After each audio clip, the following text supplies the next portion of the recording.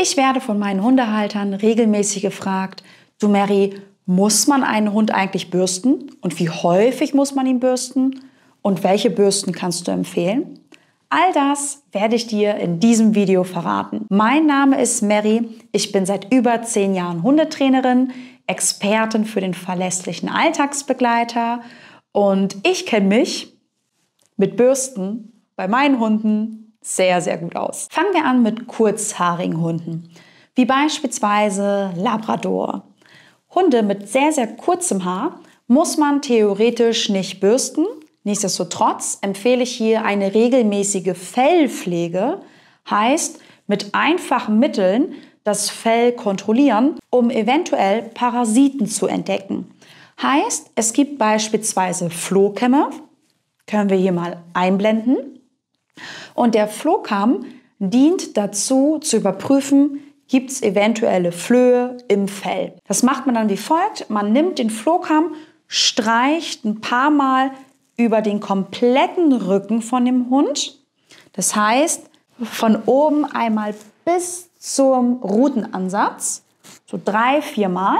Und dann nimmt man wahrscheinlich so, so ein ganz paar Härchen mit und du kannst dann kontrollieren, ob eventuelle Flöhe da sind, indem du den Flohkamm nimmst, auf ein feuchtes Stück Zewa einmal abwischt. Wenn dort jetzt Partikel sind, die sich so orange-bräunlich verfärben, ist es ein Anzeichen für Flohkot. Wichtig, das machen wir nicht nur sinnvollerweise bei kurzhaarigen Hunden, sondern natürlich auch bei langhaarigen Hunden um rechtzeitig Flöhe zu entdecken. Ja, und dann gibt es noch ganz, ganz viele weitere unterschiedlichste Bürsten. Ich habe jetzt hier mal so ein ganz paar mitgebracht.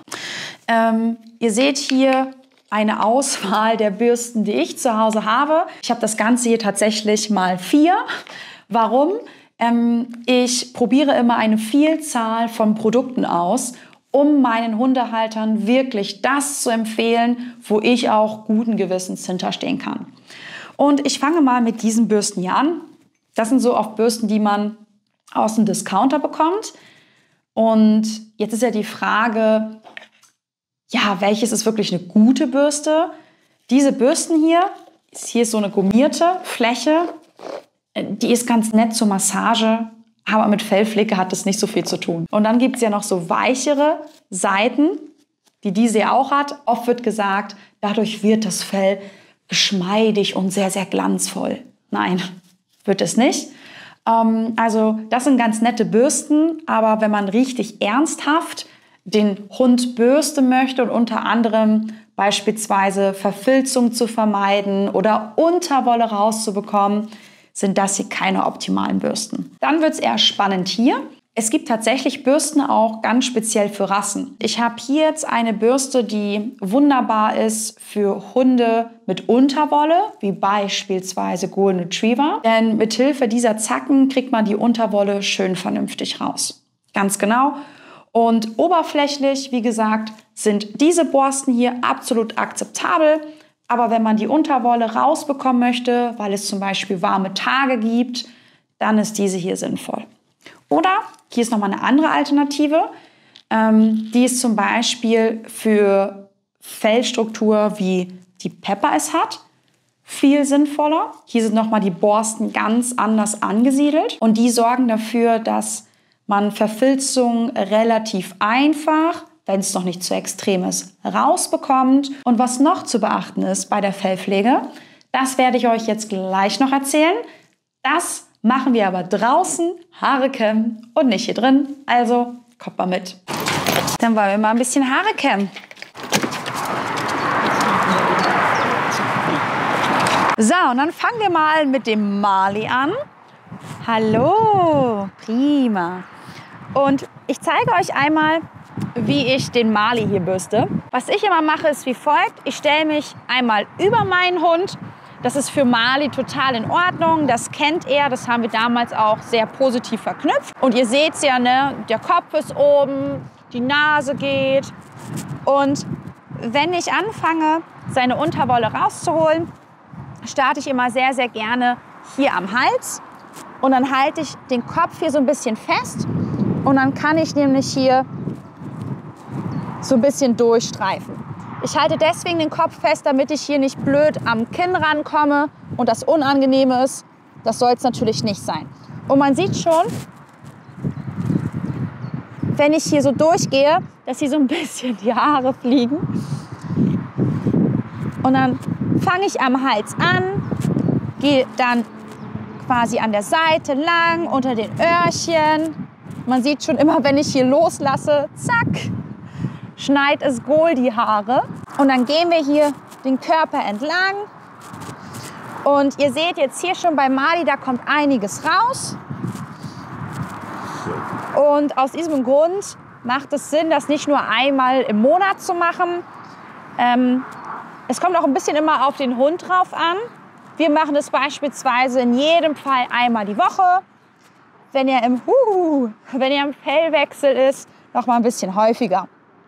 Wichtig zu sagen ist auch, Mali, warte, dass Hunde es nicht so gerne haben, die Rute. Das ist bei sehr, sehr vielen Hunden so. Ich mache das so, ich stütze dann immer so ein bisschen mit meinem Knie ab. Und dann fange ich hier an, vorsichtig die Rutenhaare zu kämmen. Ja, und das machen wir dann einmal bei dem kompletten Hundekörper. Und wenn ich mit meinem Hund fertig bin, dann sage ich ihm das auch. Mali, okay. So, und wir sind einmal fertig. Und dann weiß ja alles klar, dann gehe ich jetzt wieder schnüstern. Und das ist auch in Ordnung. Und dann kommt jetzt die Pepper, der Australian Shepherd dran. Und ähm, die Pepper hat nicht so viel Unterwolle. Deswegen habe ich hier nochmal eine andere Art von Bürste. Pepper, komm mal her. Juhu. Super. Und auch hier, da gehe ich einmal über Pepper, fange auch hier am Hals an. Hi. Gut so? Pepper sagt, boah, endlich wieder Haare kämmen. Wie schön.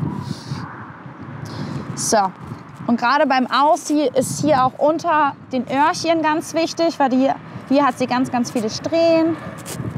So, zack. Und auch hier geht es dann an dem Hundekörper komplett entlang, einschließlich Rute natürlich. Und ganz besonders gerne hat sie es oben hier am Kopf. Auch wenn hier überhaupt kein Grund ist, die Haare zu kämmen, mache ich es trotzdem immer gerne noch spätestens ganz zum Schluss. Ne? Damit Haare kämmen auch einfach Spaß macht. Weil es gibt nichts Blöderes, wenn man etwas machen muss, aufgrund der Hygiene, ähm, und dein Hund mag das nicht. Und äh, deswegen ist es ganz, ganz wichtig, dass man das Ganze mit was Gutem verknüpft, damit der Hund auch gerne Haare kämmt.